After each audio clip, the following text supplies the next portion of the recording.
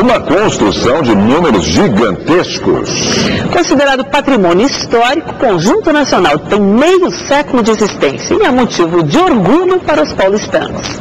45 mil pessoas passam por aqui todos os dias. Corresponde à população de uma cidade inteira, como Campos do Jordão, no interior paulista. É um lugar para fazer um pouco de tudo: trabalhar, passear, fazer compra. São dois edifícios comerciais e um residencial, em uma área de 124 mil metros quadrados. Inaugurado há mais de 50 anos e tombado pelo patrimônio histórico há cinco, o Conjunto Nacional tem 400 empresas, 45 lojas, 47 apartamentos. Um orçamento de prefeitura, 27 milhões e 600 mil reais por ano.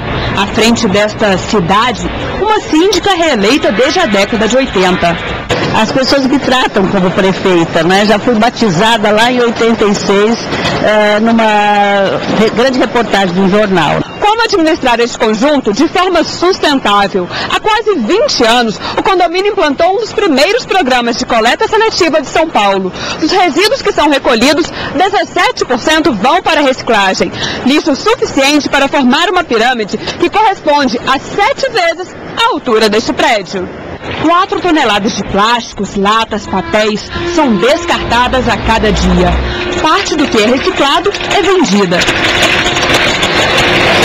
vira renda para cobrir despesas do condomínio. O restante é recuperado por artistas e fica exposto nas próprias galerias do Conjunto Nacional. A gente transforma todos esses materiais que aparentemente são inseríveis em arte, em decoração, em brindes, em presentes. A iniciativa é uma das transformações que esta moradora das antigas acompanhou nas últimas décadas. Gaúcha, radicada em São Paulo, ela é de um tempo em que a sociedade não se preocupava tanto com o meio ambiente. Mudança de comportamento comportamento que fez o famoso cartão postal paulistano se tornar moderno sem deixar de ser tradicional.